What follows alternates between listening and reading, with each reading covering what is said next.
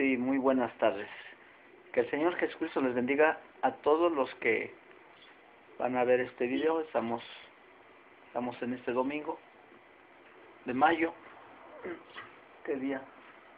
Ah, 13. Estamos a 13 de mayo 13 de mayo de 2012. del 2012. Pues estamos aquí en la casa de de la hermana Anita, Ana María. Bueno, eh, más propiamente mi mamá. Dios le bendiga. Este, y yo quiero preguntarle porque tenemos nosotros una historia a veces en la infancia, en nuestra juventud, a veces eran historias tristes, todo lo que llegamos a vivir, pero pero ahora ahora te- tenemos una vida gloriosa en Cristo, ¿verdad? Y pues mi deseo es que tanto mis primos como mis hermanos, mis sobrinos, tenemos inclusive, usted tiene tataranietos, ¿verdad? No, Todavía no, No. bisnietos, sí, Ok. pero también tiene bisnietos por parte de, ya no directos de usted, sino de mis tíos, ¿verdad? De mi tía.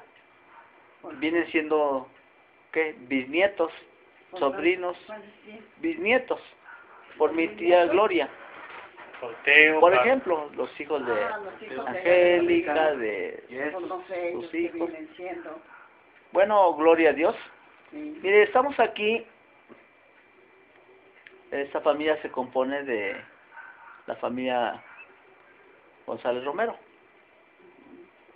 Y yo, yo le quiero preguntar a mi mamacita. Yo, le, pues hay una inquietud. Sabemos cuándo ella se convierte a Jesucristo. Pero usted anduvo en la iglesia católica, en los grupos. ¿Anduvo en grupos de los testigos de Jehová? Bueno, que Poco. no. Yo, No, pero- iba una persona a Pero, bueno, es No anduve con ellos. bueno, al ir de una persona, este, era la doctrina, por eso es un decir. O sea, dice uno, no, no, sí o no. Cuando iba una persona así, o sea, ¿por qué hago esta referencia? Porque, pues obviamente, algunas personas andan buscando la verdad.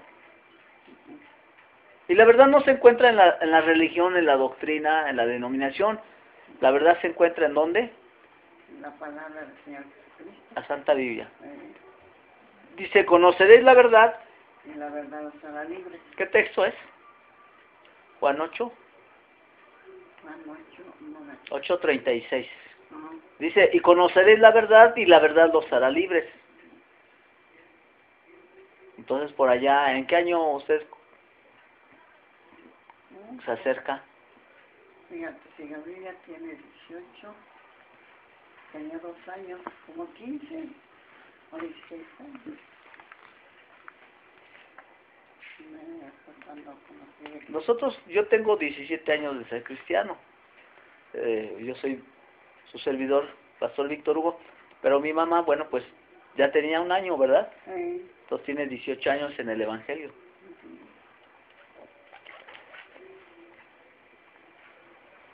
Bueno, aquí está Miguel conmigo. Estamos en Torreón, en la casa de mi mamá, de la hermana Anita. Qué bendición que la mayoría de sus hijos somos cristianos. Gloria a Dios. Esta, esta dicha y esta bendición no cualquiera lo puede tener. Es muy raro cuando todos los hijos somos nueve hijos. Yo tengo ya dos casados. Son dos familias más. Este, Altagracia tiene dos casados más. Son nueve y dos. Son once y dos son trece. Lulu tiene también tres casados. Una fallecida. Y así, cada uno de nosotros seguimos teniendo hijos que formaron su familia. Imagínese usted, yo tengo cuatro hijos y así por el por ese orden. Lulu tiene cuatro hijos, ¿verdad? Altagra- Altagracia tres. Pero, mire, en el plan de Dios era bendecir las familias.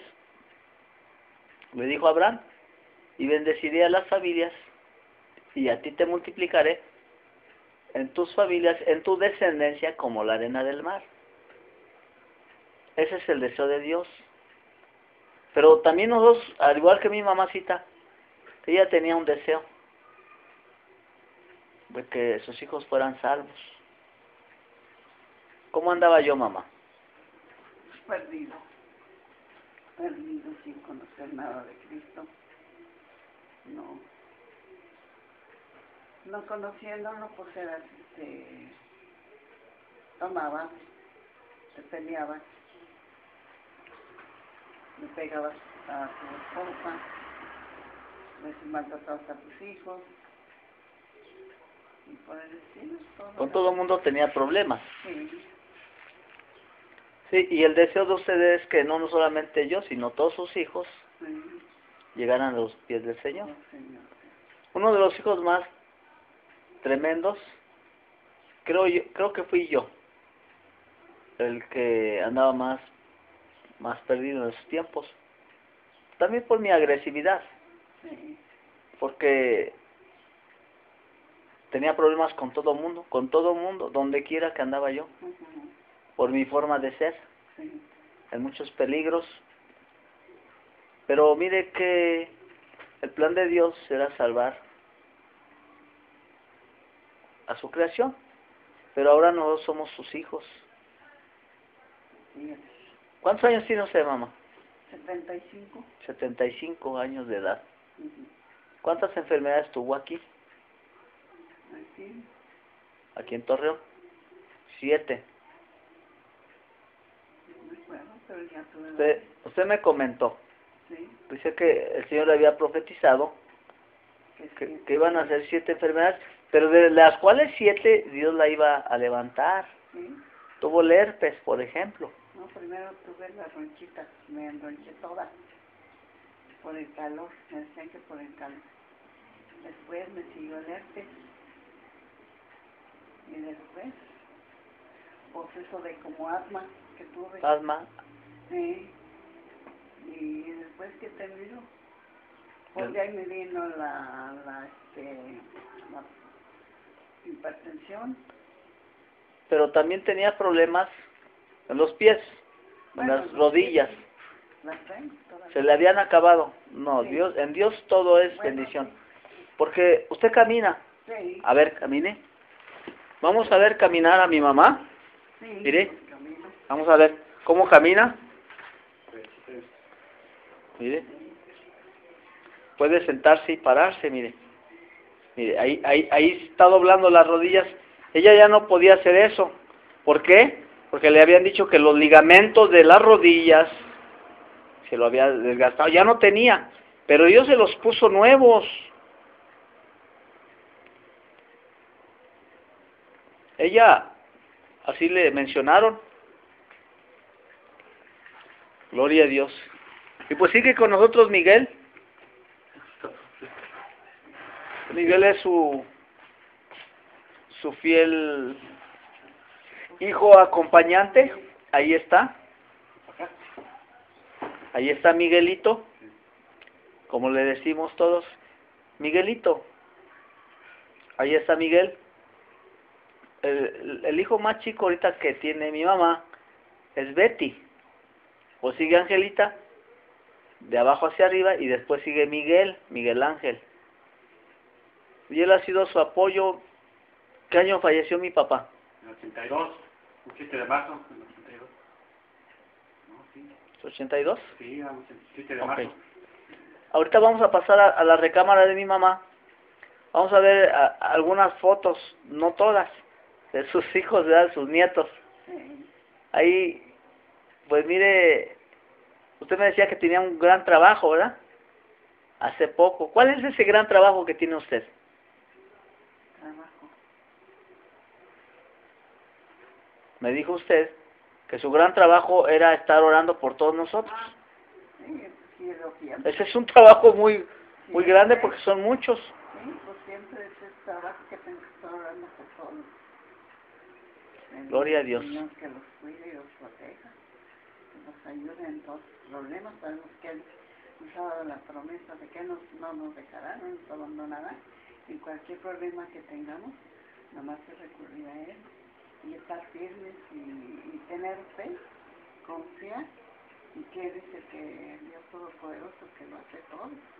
Aunque nosotros no lo veamos o no lo creamos, esa es la verdad, Él es el único y no hay otro, hay otro más que Él. Es el que nos da todo, nos provee todo y nos saca de todas nuestras aflicciones y de todos los problemas. Nada más es que nos ofrecemos a Él y le creamos a su palabra que está en la Biblia. Eso es lo más esencial. Y orando siempre, porque la oración de fe puede mucho. La oración es eficaz, que siempre la hacemos repitiendo en nuestros labios. Como nos dice la palabra de Dios, que nosotros debemos vivir en las cosas de nuestras casas, nuestras puertas, todos los días y enseñar a nuestros hijos y a los hijos de nuestros hijos la palabra de Dios, para que todo y que les vaya bien en la vida. Enseñarles que ellos deben de ayudar a sus padres, para que también sus vidas sean largas. Pues nada más confiar en el Señor Jesucristo, todo el tiempo, toda la vida. Porque Él es el que nos sacó de la parte más fea en donde andábamos. Lo que hacíamos que no era bien visto a los ojos de Cristo. Ahora sabemos que todo lo que hacemos mal es para más de nosotros. Y que nosotros también nos no es que el Señor nos castigue, sino que nosotros solos, con nuestras actitudes, nos castigamos, nos hacemos, porque que tengamos aflicción, como el Señor lo dice. Amén. Entonces, pasamos a ver sus fotos. ¿sí? Gloria a Dios. Pues miren el, el mensaje que nos ha dado mi mamacita para todos los que van a ver este video en, en el YouTube también. No, pues ahí está. Sí, ahí están los nietos, Ahí está, vamos a enfocarlo. Ahí está Carla, ya, ya Carla. es doctora. Acá está esta Sinaí, la hija de Ángela. Y allá están varios nietos. Lo que pasa es que tiene poca luz ahorita. Sí. No hay luz. Ahí todas las fotos. Ahí están, mire. Sí, es hija de ¿Esos mi quiénes hijo. son? La hija de mi hijo, la hija de mi hijo, eh, de este Beto, Roberto. Ah. Este, esta pequeña, ¿quién es? Ese es este Lisadí, el hijo de Lourdes, cuando era Mm, chiquito. Aquí están las de. Paola. la de, ah, la de Paola. Sí, las de Paola. Y esa chiquita es Es este... Gabriel. Ese es Gabriel. Ujú. Y la otra también es hija de Beto. Y arriba, pues están este Beto y Carla y Paola. Y arriba también está la hija de Beto. Luego acá está Saraí con Betty. No tiene de mis hijos, ¿verdad? Sí. Y por ahí está y y por ahí tengo. Acá son tus hijos, mira. Con Lourdes y con, con Delfino. Ahí está Belaía, ahí está Raquelito. ¿Mm? Y están las hijas de... No, tiene luz. Sí, hay dos, pero...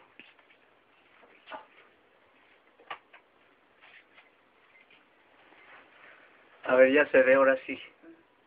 En ese carro, ¿quiénes están? Están este, las hijas de Anita. Las hijas Ah. de Anita. Está tu, tus hijas y está una de las mías, o creo que las mías de Paola.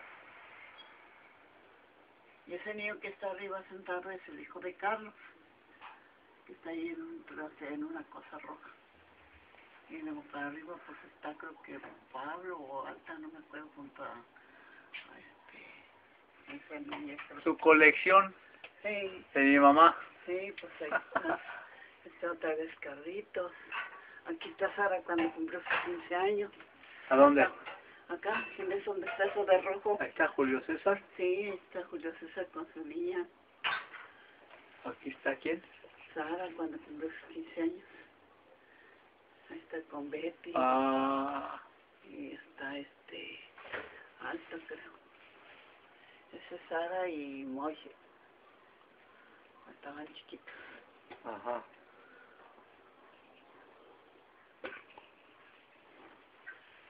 Bueno, Que tengo ahorita por afuera. Se ve muchos. Pero ya no y ahí dice, Cristo te ama. Sí.